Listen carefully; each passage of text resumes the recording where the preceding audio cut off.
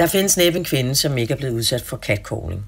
Græmsende mænd i nattelivet, blotter og almindelig grænseoverskridende mandadfærd.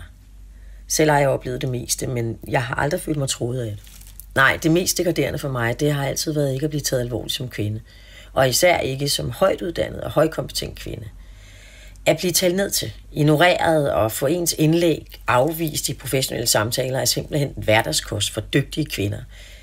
Jeg er efterhånden 50 år, og jeg har udgivet flere bøger og skrevet hundredvis af artikler, og jeg oplever stadigvæk, at mænd de taler til mig, som om jeg er et barn.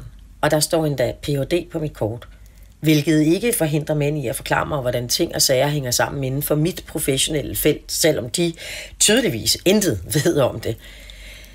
Og igen og igen ser jeg, at en ny tanke og teori først bliver taget alvorligt, når en mand har fremført den. Ideen om, at kvinder er dummere og mindre kompetente end mænd, stikker utrolig dybt.